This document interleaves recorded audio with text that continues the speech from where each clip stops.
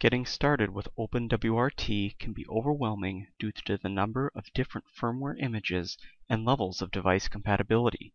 This video walks through upgrading as simply as possible. This router was chosen because of its features, relatively low cost, and OpenWRT support. For a cost of 60 US dollars, the router supports two USB ports and four gigabit Ethernet ports, which make it ideal for experimenting with OpenWRT. To begin, I've already hooked up my router to the cable modem and computer. I'm going to check the router's address by looking at the IPv4 default gateway that it automatically assigned to my computer.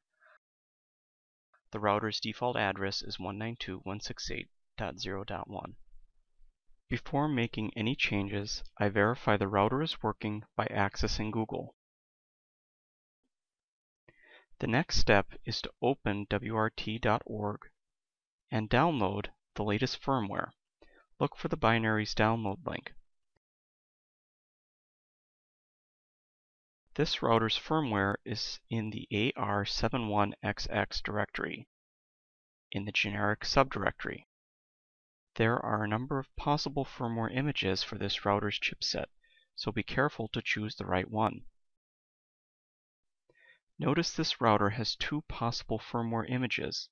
Both images indicate they are for the WDR3600. Download the firmware image with the file name ending in squashfsfactory.bin. We have everything we need to upgrade the router's firmware. We'll access our router's configuration interface using the IPv4 gateway address obtained earlier in this video. The default username and password for this router is username admin with a password admin. Once logged into the configuration page, access the left side menu and choose System Tools.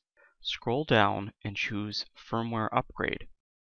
Click the button Choose File and select the firmware image downloaded from the openwrt.org site.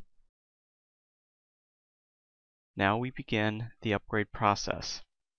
The entire process took about 5 minutes.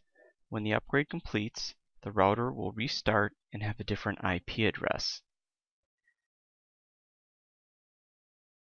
The configuration page no longer loads because OpenWRT assigns a default address of 192.168.1.1. We can verify this by going to check the IPv4 gateway address. Before checking the address, I'm going to disable and re-enable the network card to ensure the DHCP address of the computer is updated. The IPv4 gateway address has changed. We can now access the router using the new IP address. By default, the router has no password so we can simply log in with the username root. The system status page confirms the router has been updated and from here we can make all the required configuration changes like setting the root password. To prove the router is online and functioning, we'll check the Google home page. As you can see, it loads correctly. This concludes the tutorial. I hope you found it useful and a quick way to get OpenWRT up and running. Thank you for watching.